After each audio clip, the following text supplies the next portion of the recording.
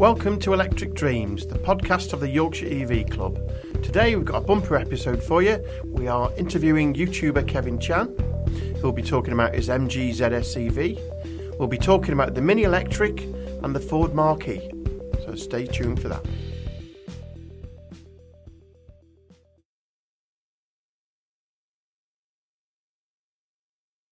In this episode, then, we're going to start off talking to YouTuber, uh, our guest YouTuber, Kevin Chan from the channel KC Talks EV. Hello, Kevin. Thanks for joining us. No problem. Uh, pleasure being here.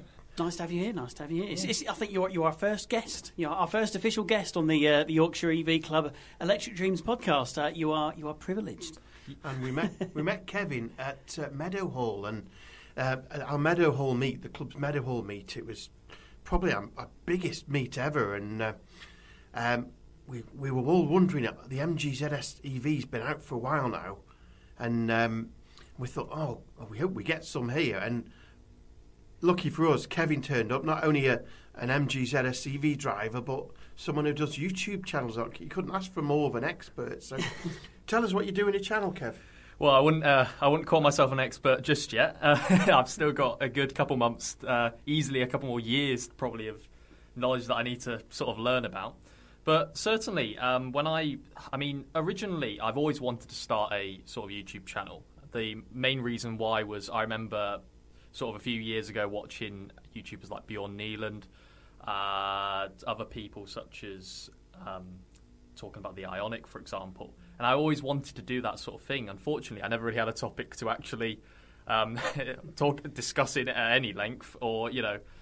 And when I first got the vehicle, I just thought, now's the time to start speaking about it, um, do a bit of vlogging of my journeys, and just general sort of knowledge. So, how long have you had the, the car then, Kev?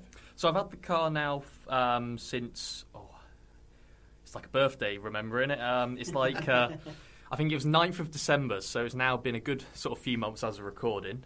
Okay, and just just for the, the people people listening, actually, um, we actually came in on a mini road trip. Kev picked us up. Uh, we got Yes. chauffeur driven, didn't we? Didn't We did. Uh, it, it's lovely. I, I've I've seen the outside of the MG ZS obviously a few times, and, and yourself when I saw you at the uh, the Meadowhall meet. Um, yeah, but to get inside the car while it's moving and actually appreciate being a passenger in a car, it, it's massively different. There's, you, you can see all the cars as they are when you're at.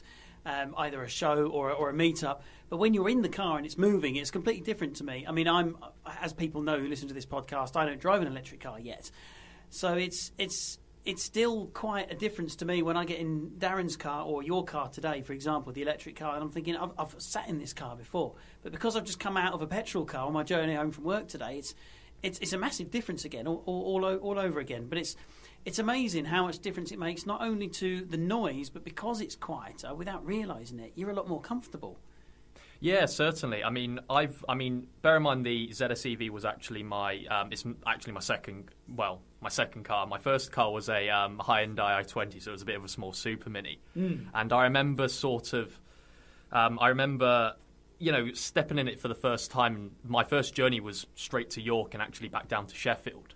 Um, I'm from Hull originally, but basically I sort of went on a mini road trip the first sort of night I had the car. As you would. Yeah.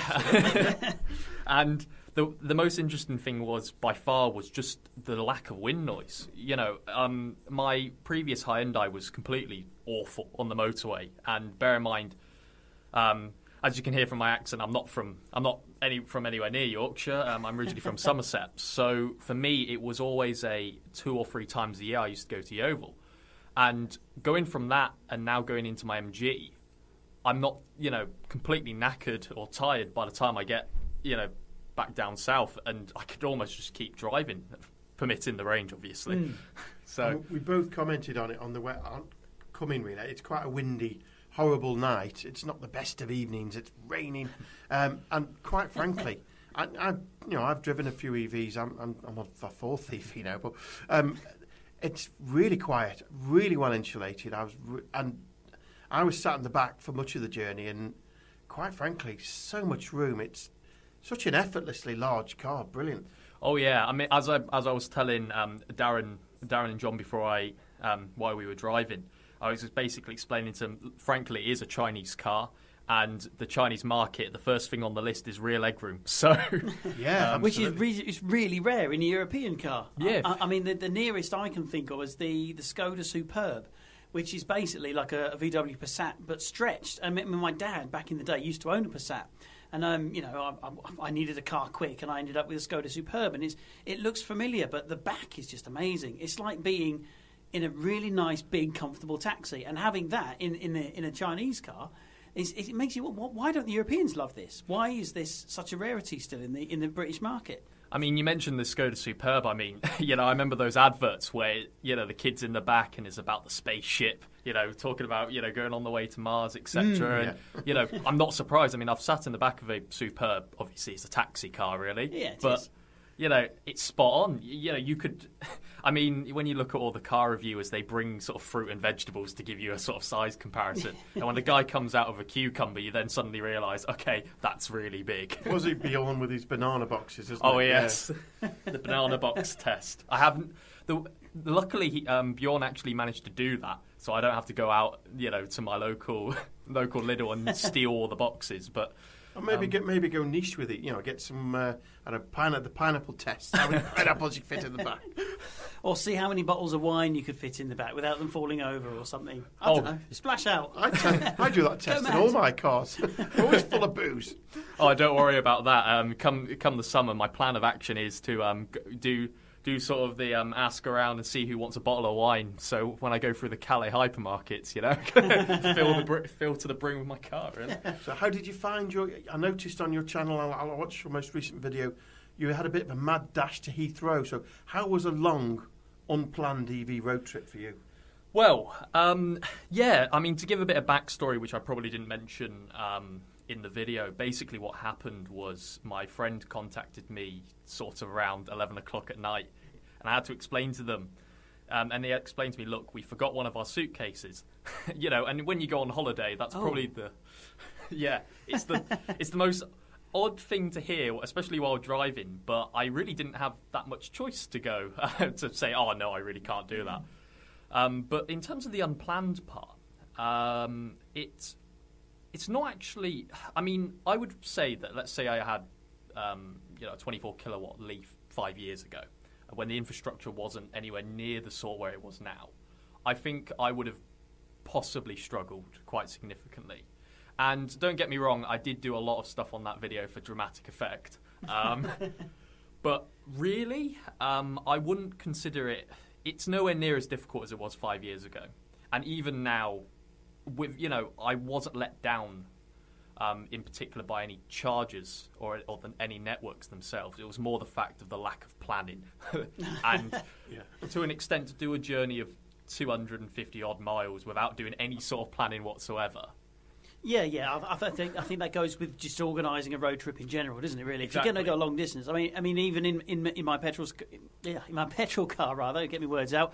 I still need to look. You know, if I'm going all the way down to the south coast, that's a hell of a long way. You need to find out roughly where you're going to fill up. You can't really just wing it and see where you're going because if you hmm. don't know the roads, you break down. Exactly the same principle. Isn't it gratifying though to know that you can do an unplanned trip? I mean, heaven forbid, we you know people who've got relatives out of the area and all they've got is a 40 or 30 kilowatt EV, and they need to dash down and see a relative who, who, who's fallen ill.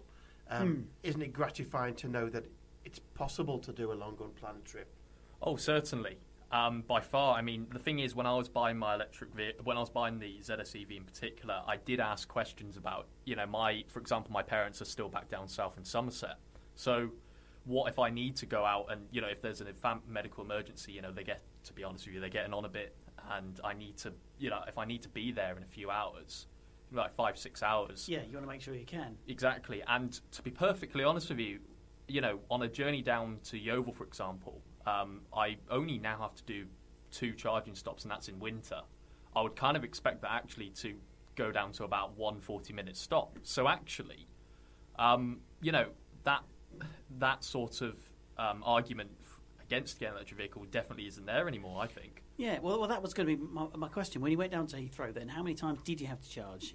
Um, the thing is, um, Obviously, yeah. accepting that you set off without your battery fully charged in the Yeah. first place. Yeah, yeah. So, so yeah. If you uh, would it be fair to say you had about half half, half a battery in the car, half a charge? Uh, I think I mentioned it was about 40%. Um, unfortunately, with the ZSEV, it doesn't tell you a percentage. It gives you almost a complete. It's actually almost even worse compared to a petrol fuel gauge. Because All right. at least Nah, at that point, I've yeah. seen that. It does look like a fuel gauge, but I don't think the increments are even, are they? No, they're not. Um, you know, some people on the um, ZS EV owners group have mentioned, you know, the first bar is from 100 to 91%, and then the last bar is 25%. So, oh, right. Okay. yeah, Uh, didn't someone say, or didn't I see on a video that it starts whinging at you the car? You know how they do when you get low. You- Hmm. They love a good whinge, don't the electric cars?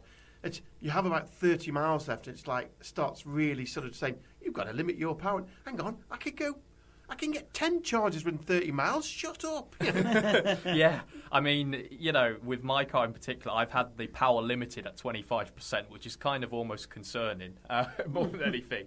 But, but yeah, I mean, I set off with 40%. Um, I got to York, picked up the suitcase. Uh, that's when the unplanning, unplanned part really started to become apparent because I was looking at Zap Map. Yes, all of the parking rides do have polar charge points. Unfortunately, they're all closed after hours, and it was oh about dear. one in the Ouch. morning. so, um, luckily though, um, and uh, we'll probably um, go on to it once we go on to um, sort of the general questions we're going to ask today. Yes, yeah. But luckily, there are other sort of networks like Instavolt where contactless card, go on to it, no problem at all, good charge rates. Brilliant. So after I was out of York, then I had to start battling the winds. Yeah. Yes. Of Yes, course. It was oh. very windy, wasn't it? Yeah. Yeah. We've not been short of wind. I, I mean, for a bit of context for anyone who's listened to this sometime in the future, we've just had Storm Ciara, Storm Dennis, and God only knows what storm is George, next. I think, was the Ah, third one, wasn't George, it? yeah. George. But it's a very Three odd spelling. George, And- isn't it? Kev, Kev was driving into all three of them. Yeah, well, yeah. I mean, I, I sympathise because I was driving uh, the week, those weekends as well. I was driving down south, Hmm. conveniently, but the other side of the country, uh, to see my folks in Essex. And um, yeah, the wind was absolutely ridiculous. So t- I, I can I can completely appreciate it was probably not going to be the best of journeys in any car. Oh yeah.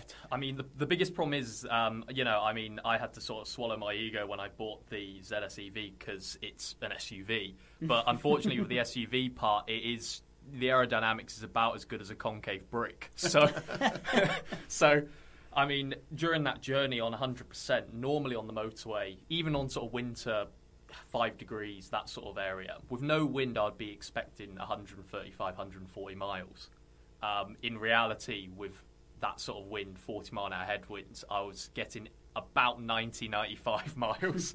And, yeah. For all of the EV nerds like me out there, we all want to know what's your efficiency. And I, I'm I'm running in winter. My heater's on constantly. I'm running somewhere between uh, three and three point five in city driving. So what were you down to?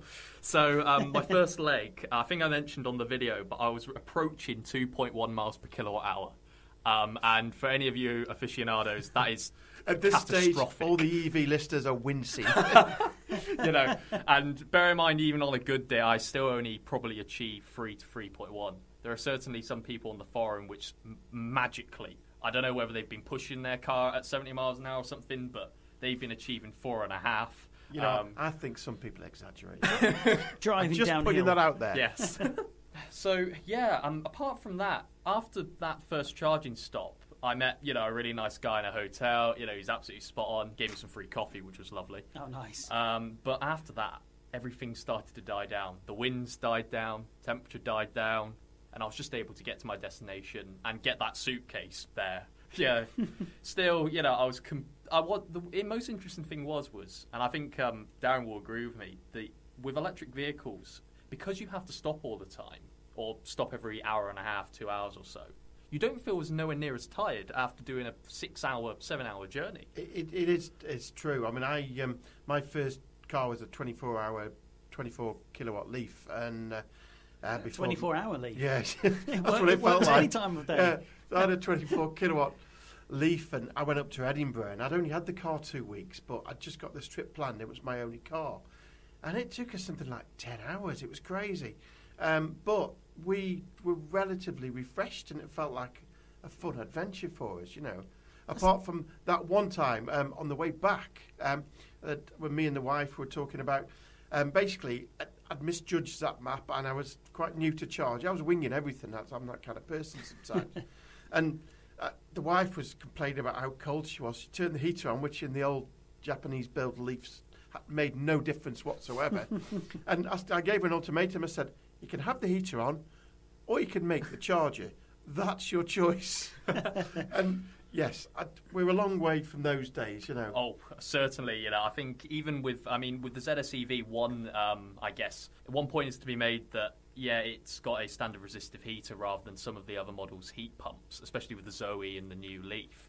But nowadays, with the battery capacity that we have, we really don't need to worry about whether or not to keep the cabin hot yeah, or being able to make your destination. Yeah, I mean, it, it's. I mean, th- th- this is what I, I try and tell people at the moment. Um, in that, when people ask me, I'm, I'm no aficionado on, pardon me, on electric cars, but you know, I appreciate it, and, I, and I'm, I'm I'm on the way there, obviously. But the point, the point that um, that everyone says is, oh, those electric cars are they're rubbish? Or you recharge them every 50 miles, 60 miles. I said that might have been true about five, six years ago. But the trouble is, being a new technology, like any new technology, it sort of creeps up and then just rockets in, in progress. And that's the same with everything. I mean, and I say this pretty much at least once every episode. You know where I'm going with this, Darren. but the Formula E racing cars, I, I, I'm, wow, I'm, a, yes. I'm a big motor racing fan anyway. I, I watch cars throw themselves around till, till, till I die. Um, but the, the electrics uh, have been amazing. They're on their sixth year. Um, and in six years, they've gone from having two cars where they have to jump out halfway into another car and carry on with the rest of the race to doing the, the whole lot of the, re- the rest of it all on one charge in more efficient batteries. And that's just six years. And if, if people can throw these cars around doing about 120 miles an hour, probably something like that, you, you get the drift. If they can do it for 45 minutes plus one lap at 100 miles an hour, then in an average consumer environment, well, like you or I are going to drive, that's only going to help. And that's in six years. So imagine where it'll be in another six years. That is an amazing rate of change, and it's just going to accelerate, like you say. Kev, what's next on the channel? What can we expect coming up? Well, Just to um, put you on the spot there. Well, the, I think that I, I just like that last video. I mean, a lot of my videos are very unplanned. Uh, um, I think th- so. For example, this week I'm actually heading down to Southampton to first of all um, look at the university there, but also um, slightly more importantly, I'm also going there for a birthday party. All right. Um, and the thing is, that video um, that I'm going to be recording is going to show you actually what we do as sort of electric vehicle drivers. So this is an actual planned route um, of 600, 650 odd miles. Um, in terms of in terms of other um, videos, sort of thinking more ahead, um, we're go. I'm going to be hopefully doing a European tour uh, in the Nice. summer. Oh, So wow.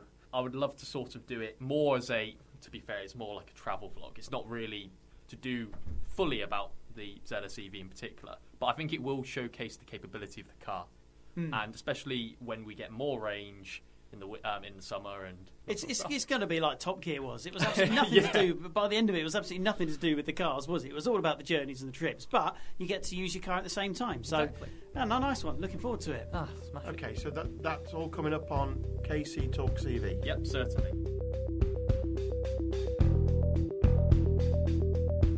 Okay, so we just thought we'd uh, just change tack slightly and talk about a few things up and coming in, in the EV world. And recent uh, episodes of Fully Charged, which obviously is the show for EV fans to watch, uh, they've been touring the Mini Electric Factory, I noticed. And uh, and anyone that's listened to this podcast knows that I uh, kind of was a bit, little bit surly and disgruntled about the Mini E.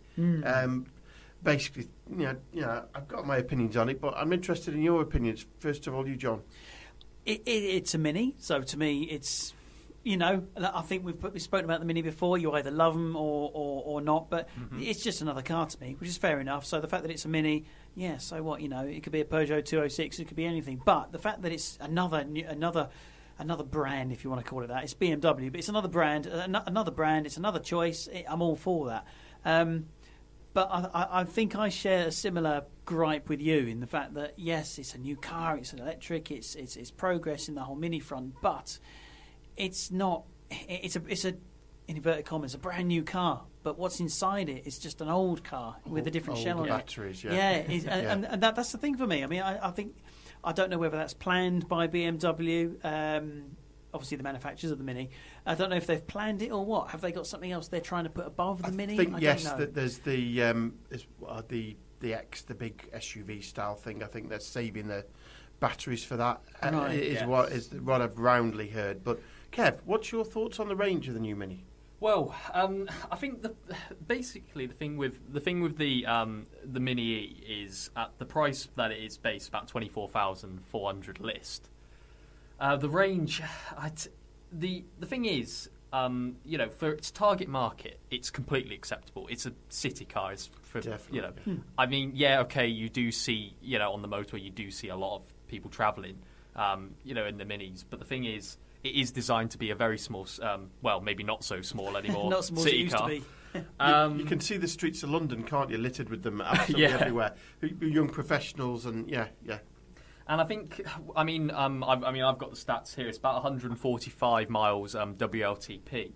Uh, personally, for me, that is on the limit to what I would sort of expect nowadays. I think if you're going to release an EV in 2020, it needs to be at least on par with what the MG is doing, which is about 160. Because realistically, even though we've moved on from um, the WLTP to the NE, from the NEDC, you still need to minus off at least some range in for winter or worst case scenario. Real, real world conditions, yeah. Well, be you know, I- in a lab, you haven't got wind, you haven't got snow, you haven't got rain. So yeah, if you just switch it on and push forward, that's how long it'll last for. So but yeah, as, yeah, um, I as, think you're right. as Darren said, you know, the battery is a little bit small. Most other reasons why is probably because yeah, it is on an older, probably battery chemistry, etc. But at the end of the day, it meets the target market, and frankly, because of all this um, malarkey, given the ban on ICE vehicles from 2035, they need to get a move on somehow. And I guess this is probably one of their first stepping stones of many.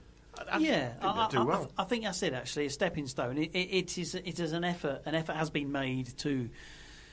I don't want to say to tick a box, but to, to move in the right direction to fill a gap in, Certainly. their- in their uh, in their output. So yeah, to give them credit as well, isn't it? Price parity on the petrol car as well. So Yeah, I mean, the the most interesting thing was is that is actually price parity with the Cooper S. It's not even you know the base model Mini One. I mean, for that for that alone, you know, you are getting the kit as well, and you don't have to spend. And that I think shows, especially, you know, a lot the one of the myths where oh yeah, it costs ten thousand pound more compared to the ice car, but as with the Mini and the Peugeot E two hundred eight, if you spec it up to the correct trim level Hmm. you may be paying thousand, five hundred thousand pound more, but that's the difference between a panoramic sunroof or you know. an well, well exactly. Yeah. Yeah, yeah, you're completely right. It's, it's like when you buy the, the Dacia Duster. You, Yeah. you buy the cheapest one; it's got nothing in it, or you get the top end one with all the bells and whistles, and you, you can you can literally double the price in the car just with extras. But And you know which one's the one advertised on the billboards? You know. Yeah, yeah. But, but that's the best way to be, I, I'd say. To be fair, if you if you want a car just to jump into, drive to work, go home, and you spend what twenty minutes a day in it, just go for the cheapy one. You're not going to spend all your life in it. Whereas if you are a taxi driver, you're going to spend all day in it. Then obviously go for the comfier seats and the, this, that, and the other. So yeah. Yeah, yeah, I I think I think you're right. Actually, I, I was looking at it from, as always, from the technical perspective and getting things slightly overshot. I think, but yeah, it's for the target market. It's a small car for a small car parking space in a city. So yeah, yeah, And the same with the, the idea of the old MGs as well, in, in as much as there are people who are brand loyal. Yeah. Um, Yes. And even though the brand obviously changed to Yeah, it's owns changed it over the hands, years, it? but people, you know, people will have had X amount of minis over the years. There might be some guys had the first minis in the '60s, and then he's, uh, you know, he, he goes and has the electric as, as his retirement car. And uh, you know, I like the idea of someone being brand loyal. I must admit that you know appeals to the, the sentiment in me. Yeah. Well, that's the whole very reason for the MG badge coming back, I guess. I mean, it's, it's SAIC that build build the cars, isn't it, Mini? Is that right? Yeah, I um, can't um, remember, but it's- they- they've yeah. obviously bought the brand because they saw some value in it, and the fact that I mean, from my untrained eyes on MGs, it kind of looks like an MG. You know what I mean? It's not just like they stuck a badge on another car. They've actually made a bit of effort to keep the, the look and feel going. So Yeah, I mean the I mean with them I mean as yeah, as you both say about brand loyalty, I mean that's the reason why the vast majority of these badges originally came back into sort of fashion. I mean, my I mean most interesting thing was when I explained to my dad I was buying a ZS. Uh, the you know my dad's previous car was an MG ZS, um, Oh, you know right. 2006, one of the last one built at Longbridge, and I remember it being completely awful. To be honest, you know, it was best. I mean, I'll tell you this: to learn how to drive in it was awful because you needed to get things like clutch control right, and it was it, no feel in that. But handling wise, that's why the MG badge was known. It was a great handling car. Yes. Right. And I think, and I think actually, to be honest, with the current MG range, even though it's under Chinese ownership, they still have that little bit of magic in them. I think where they do handle. I mean, even their SUVs, and I mean, if you've driven the MG3, it handles like a dream. And I think they still have that magic in them, and I think that's just incredible, really. Well, speaking of brands, uh, let's let's um, go to something a very different animal, and uh, I, I don't know if you guys will have seen the new uh, the new Ford Mustang Mach-E. What a beautiful beast that is! And speaking of brands, it's interesting what Ford's done there, getting the Mustang name in. Yeah, it, it's it's weird because um, again, I know nothing about cars. I'm probably in the wrong podcast to be honest with you. But the um, the Mustang is is it's the big American muscle car, isn't it? It's it's you put your foot down when you're in neutral and think, you know, it growls and, and, and the electric one obviously doesn't have the engine. It doesn't have the growl, but they've stuck the, the Mustang badge on it and. Although it's it's weird, I mean, it looks like a Mustang as far as I'm concerned. But yeah, I, I- I don't know what the, what the purists say on it or what. It's um, it's not a brand that I would have put on an electric car, but it sounds like Ford have kind of made it work. I don't I, I don't know. What it do kind you of think? suggests they've invested in it in a way. It's like we we are, you know, we're we're happy to put the Mustang name on this. I think that's a it's a bold move. Yeah, it's, it's, it's you know when I first found out about it, I mean I was sort of eyeing up the four door sort of Grand Coupe Mustangs because. I mean, at the end of the day, yeah, I drive an electric vehicle, but in you know, still in my heart somewhere, I do like an engine noise. And Well, yeah, yeah, yeah. you, do. Yeah, I mean, in, in the same way that an electric car will make you feel calm because there's less noise and racket, the excitement of the noise of the of the car, it's, it's the opposite effect. But it depends why you own the car. Do you want a car to, to feel like you're alive and you're on fire, or do you want a car that's really practical and, and sensible? And it's not going to cost you the earth. It's, it's different, different audience, isn't it? Really. yeah, exactly. And speaking of costing the earth, what do you think of the price tag? Uh, oh, yes, that looks quite a lot, doesn't it? Slightly out of my budget, but then again, I'm not the Mustang's uh, target audience. That, yeah, I think that's it, isn't it? I think it is a target audience, and From forty-four to sixty thousand dollars, I think even Yes. even even once you've chopped that down into into pound sterling, yeah, it's a bit more than I've got in my pocket at the moment. I think, um, I mean, I, I'm probably on the record somewhere on the channel saying that if it was around the thirty thousand pound list price mark, I would have cancelled the order for the ZS. but yeah, when I found out it was forty k, I was a bit. Luckily, all the sort of uh, weight came off my chest um, because that means I didn't have to call up the dealer. But I think I think the thing is when you I mean the base model at forty thousand pound. I know we've mentioned that yeah you wouldn't but you know about the mini in the sort of price range, but forty thousand pound for the sort of the lower end battery model, it would still give you somewhere around 280 WLTP, and so about 200 real 200 real world miles. And I think for that, and you look at all the other competitors, sort of like the I-Pace or the e-tron or the um, maybe even the Tesla Model X. I think actually, I wouldn't. It's none under no stretch of the imagination a bargain, but it is good value in comparison, especially when Ford isn't really a prestigious brand, I guess. So they don't have that. Yeah, well, I mean, well, it's, well, I don't know. Fo- Ford in itself is not a prestigious brand, but the Mustang is Yeah. is the top end of it, isn't yeah, it? Really, yeah, certainly a, recognised name, isn't it? Yeah, sure. I mean, you don't call it a Ford Mustang; you call it a Mustang Yeah, because you know Mustang, what it is yeah. straight away by by its free design rather than by its badge. Wh- What I was amused by when I was having a little look, at sort of researching this, and I was amused by the names of the colours. So we've got Star White, Mm. Absolute Black, Space White, interestingly. What's the difference between space white and star white? No idea. Rapid Red, which is a nice bit of alliteration there. Mm. Infinite Blue, Carbonised Grey. I think someone's a sci-fi fan there? Someone's I been watching so. uh, 2001: A Space Odyssey. for- exactly. Carbonized grey reminds me of the, the Skoda. I think they called it ca- carbon metal or gun gun metal carbon grey or something like that. It was something to do with carbon, I'm sure, but that makes sense because that is the colour of carbon. It's grey, but space star white. Yes. I, I know exactly where they've got this from. I think I reckon they've got it from the Apple. You know, when you can buy an iPhone, it's space grey or like uh, rose gold when we clearly know it's pink. Uh, you know, the thing is, the thing is with colours. Um, yeah, I guess. Well, as long the one thing I've noticed is with the when I was buying the MG colours, um, that was very interesting.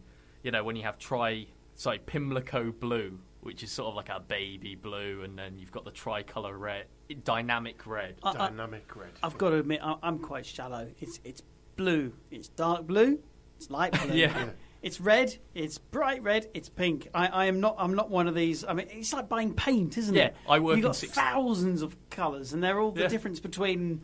I don't know, um, baby vomit green and, and, Yeah, and baby mould in the back of the fridge green is, is nothing, but it's a completely different name. I'm sure I've seen a, a souped-up Ford Fiesta with a, with a plastic spoiler driving around Hull that's baby vomit green. yeah, you know, and when you know, I mean, I to be perfectly honest with you, as as proven, you know, I remember. I, I probably work in about 16 colours really. I don't really, I don't have the full colour palette. So telling me, oh yeah, it's burgundy. it's No. red to me, isn't it? But I, I thought that was brown. well, oh, it's All right. touchy subject. Ready brown. We'll meet you halfway. Yeah, I think um, the mar- I think the Mach-E is going to be interesting, and I think the other thing about, especially when buying electric vehicles in Britain, uh, with all the politics that's going around there, I think I don't. I, I'm not quite sure whether we are going to have no um, as much of the choice in comparison to other sort of countries. So we do kind of have to. Hmm. Um, and I think the fact that the Mach-E is definitely coming to the UK is just another good selling point. I guess. yeah. It, it, it's another it's another one on the choice list, isn't Mm. it? What, Uh, what do you want to buy? The list is getting bigger every day. I mean, for me, we go to events like um, EVs in the park every year, and you know what? Every year you go, there's another model that you've not seen before, and, and this year they've all ramped it up because of the new legislation happening, all the manufacturers and their, their carbon targets and what have you. yeah, do you know? Do you know what? That's not occurred to me before. You're, you're bang on because when I went to EVs in the park, the car I'd never seen before at the time was the Hyundai Ioniq. Yeah, and I absolutely still love the look of the car. But you're completely right. I mean, that car must be it must be nearly three years since I saw that car, and that's uh, that's got me thinking that. Am, Yeah. am I am I have I got my heart eventually set on buying? An old car, which is going to be massively trumped out by what's coming out this year. I don't know, but uh, you like what you like, just go for it. Hmm. Well, if you're still with us, thank you very much. This has been episode four of the Yorkshire EV Club Electric Dreams podcast. Uh, thanks very much, Kevin, for joining us this week. Well, thank you for letting me be here. It's been a pleasure.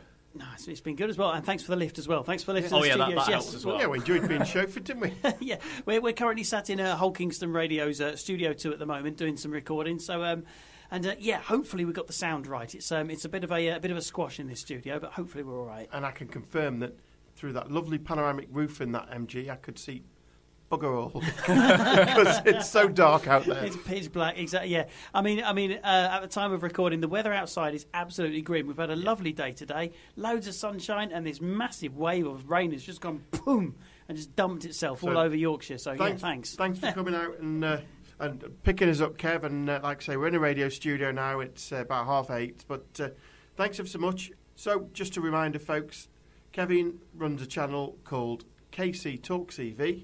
Yep, that's um, yep. KC Talks EV. If you type that in in YouTube, um, it normally comes up with or without the spaces. Um, I reached 100 subscribers, so I was able to actually get that channel, channel address. You know, without needing to give you a really long string of random letters and numbers. So yeah, Brilliant. that's KC Talks EV.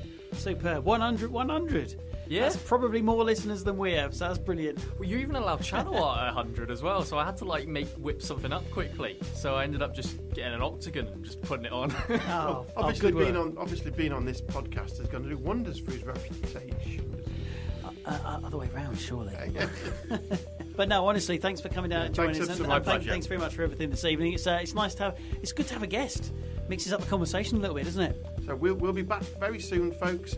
Look out for Yorkshire EV Club events. You'll find us on um, Instagram, Twitter, Facebook. Um, just connect with us. We talk, we're friendly, we don't bite much. Don't forget, you can also check out the website as And- well if you can't find us. Our fantastic website. Mm. Oh, yeah. Thank you very much. YorkshireEVClub.co.uk. Thank you very much. See you next time. See you now. Cheers all. Bye.